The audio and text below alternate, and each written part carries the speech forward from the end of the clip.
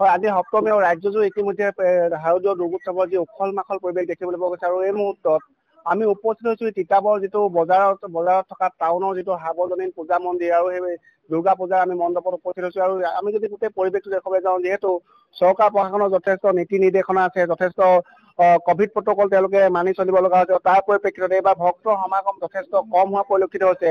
কিন্তু উৎসাহ উদ্দীপনা বিশেষ কমা পৰিলক্ষিত হোৱা নাই যিহেতু যোৱা সময় সময়ছোৱাত আমি যিহেতু ষষ্ঠীত প্ৰতিষ্ঠা হোৱা দেৱী আজি যিহেতু মহা সপ্তমী আৰু মহা সপ্তমীৰ দিনটোত আজি সপ্তমী পূজা ইতিমধ্যে শেষ হৈছে।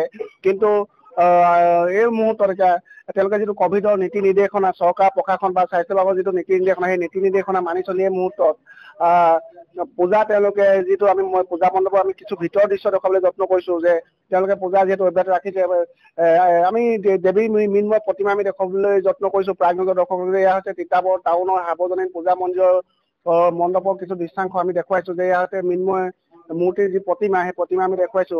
যথেষ্ট সুন্দৰকৈ সজাই পৰাই তোলা হৈছে।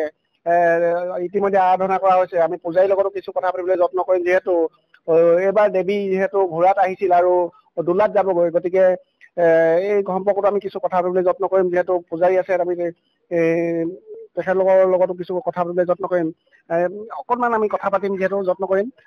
আমি দুৰ্গা পূজাৰ শুভেচ্ছা জনাইছো আপোনাক। ধন্যবাদ। কেনেকুৱা এইবাৰ প- পূজাৰ পৰিৱেশ কেনেকুৱা চলিছে এইবাৰ? পৰিৱেশটো ভালেই চলিছে। বৰ্তমান দেশৰ যি পৰিস্থিতি হৈছে কোভিডৰ সেই কোভিড প্ৰটকলো ইয়াৰ কমিটিয়ে যথেষ্ট মনা দেখিছোঁ আৰু সেই অনুযায়ী আমি একো অসুবিধা পোৱা নাই ভালধৰণেই উদযাপন হৈছে। অসুবিধা পোৱা নাই? অসুবিধা পোৱা নাই। যথেষ্ট এইবাৰ যিহেতু ৰাজ্যবাসী বা দেশবাসী যথেষ্ট সংকটৰ সন্মুখীন হ'ব লগা হৈছে। এইবাৰ কেনেধৰণে দেৱ দেৱ মা দুৰ্গাৰ ওচৰত আপোনালোকে শৰণ লৈছে সেৱা জনাইছে? আমি তাৰ কাৰণে ভগৱতীক প্ৰাৰ্থনা জনাইছোঁ আৰু পূজা কৰোঁতে তাতে অনুৰোধ কৰিছোঁ।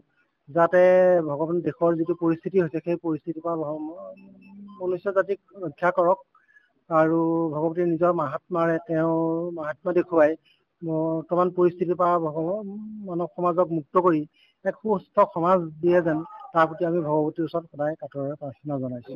আমিও কামনা কৰিছো প্ৰাগনিজৰ দৰ্শকসকলক আমি দেখুৱাবলৈ যত্ন কৰিছো। যিহেতু এই মুহূৰ্তত যথেষ্ট এটা সুন্দৰ পৰিৱেশৰ মাজত আমি এই কিতাপৰ যিটো টাউনৰ সাৰ্বজনীন পূজা মণ্ডপ সেই মণ্ডপত এই মুহূৰ্তত পূজা অনুষ্ঠিত কৰা হৈছে। যথেষ্ট সুন্দৰকৈ সজাই পৰাই তোলা হৈছে।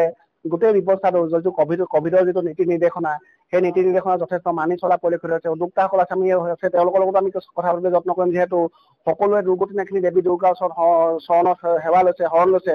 আৰু তেওঁলোকে উল্লেখ কৰিছে যে যিটো দেশৰ যিটো পৰিস্থিতি ৰাজ্যৰ যিটো পৰিস্থিতি ভয়াৱহ পৰিস্থিতি সেই পৰিস্থিতিৰ পৰা যাতে ৰাজ্যবাসীক মুক্তি দিয়ক বা দেশবাসীক মুক্ত কৰক তেনেধৰণে তেওঁলোকে আশা প্ৰকাশ কৰিছে।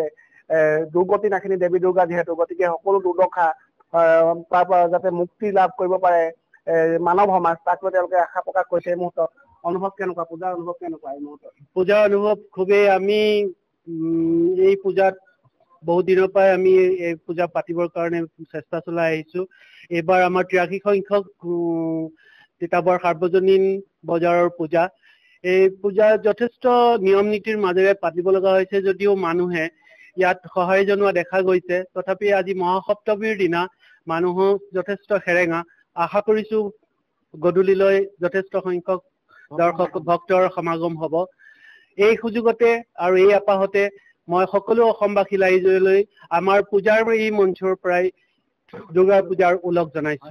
ধন্যবাদ জনাইছো আৰু আমাৰ তৰফৰ পৰা আমি সকলোকে আমি শুভেচ্ছা জনাইছো অভিনন্দন জনাইছো। যে যথেষ্ট নীতি নিৰ্দেশনা অকণমান আগলৈ ওলাই আহিলে সুবিধা হ'ব যে যথেষ্ট নীতি নিৰ্দেশনা জাৰি কৰা হৈছে মহকুমা প্ৰশাসন বা স্বাস্থ্য বিভাগে জাৰি কৰিছে। তাৰ মাজতে দুৰ্গোৎসৱ আজি মহাসপ্তমী। হয় আজি মহাসপ্তমী। চৰকাৰৰ কিছুমান প্ৰটকল আছে আৰু মানিবও লাগে। একচুৱেলি যোৱা বছৰ পূজাটো আমি ঘট পূজা পাতিছিলোঁ কিন্তু এইবুলি মূৰ্তি আনি পিনি আমি মূৰ্তি পূজা পাতিছোঁ। আৰু চৰকাৰী নিৰ্দেশনাৰ হিচাপত আমি পূজাটো কৰি গৈ আছোঁ। আজি সপ্তমী কিন্তু মানুহৰ সমাগমটো অলপ কম। কিন্তু সন্ধিয়া সমাগম হ'ব। কালি মহাষ্টমী আমাৰ ইয়াত বহুত ভিৰ হয়। আৰু আমি আশা কৰোঁ যে মায়ে যোনটো এই কৰোণা কাল বা যি এনেকুৱা যি বেমাৰ আজাৰ যি আছে নিজৰ লগত লৈ যায় যাতে ৰাইজে শান্তি সমৃদ্ধি পায় সেইটো আমি আশা কৰিছোঁ। এইবাৰ তিৰাশী বছৰ গৰকিছে হয়। হয় এইবুলি তিৰাশী বছৰ হৈ গৈছে আমাৰ মণ্ডপটো। হয় নিশ্চিতভাৱে যে আমি কৈছো পুনৰবাৰ প্ৰাজ্ঞদৰ্শকক জনাইছো যে কিতাপৰ অতিকৈ যদি পুৰণি যদি পূজা কমিটি বুলি বা পূজা মণ্ডপ বুলি যদি কওঁ এই পূজা মণ্ডপখনকে কোৱা হয় যিহেতু তিৰাশী অকণমান কিছু দৃষ্টান্ত কৰে যে ভক্তৰ হে- উপস্থিতি হেৰেঙা যদিও কিন্তু দুই এজন আহি আছে তেওঁলোকে মা দুৰ্গতিনাখিনি দেৱী দুৰ্গাৰ চৰণত হে- সেৱা লৈছে। সকলোৱে কামনা কৰিছে যাতে সমাজৰ যিবোৰ অপ্ৰিয়া অসুৰীয়া অ, অপ্ৰীতি সকলো যাতে দূৰ কৰক সকলো নাশ কৰক। দেৱী দুৰ্গতি নাশিনী দেৱী দুৰ্গাই যাতে সকলো নাশ কৰক তেনেধৰণে তেওঁলোকে এতিয়া আশা প্ৰকাশ কৰিছে আৰু এইদৰে এতিয়া তিতাবৰটো এতিয়া দেখিবলৈ পোৱা গৈছে যে যথেষ্ট সেৰেঙা পৰিৱেশ বা সেৰেঙা পৰিস্থিতিৰ মাজতে এতিয়া তিতাবৰ এতিয়া এইদৰে এতিয়া শাৰদীয় দুৰ্গোৎসৱৰ যিটো পৰিৱেশ সেই পৰিৱেশটো এতিয়া এইদৰে বিৰাজ কৰা পৰিলক্ষিত হৈছে আৰু সমান্তৰালভাৱে ওলাই আহিছে যে একাংশ ভক্ত ওলাই আহিছে আৰু দুৰ্গতি নাশিনী দেৱীৰ চৰণত এই মুহূৰ্তত তেওঁলোকে সেৱা লৈছে আৰু সকলোৱে কামনা কৰিছে যাতে সমাজৰ যিটো অসূয়া অপ্ৰীতি আছে বা এই সময়ত যিটো দুৰ্যোগ নামি আহিছে সেই দুৰ্যোগৰ পৰা যাতে দুৰ্গতি নাশিনী দেৱী দুৰ্গাই যাতে মানৱ সমাজক মুক্ত কৰে এতিয়া সকলোৱে আশা প্ৰকাশ কৰিছে।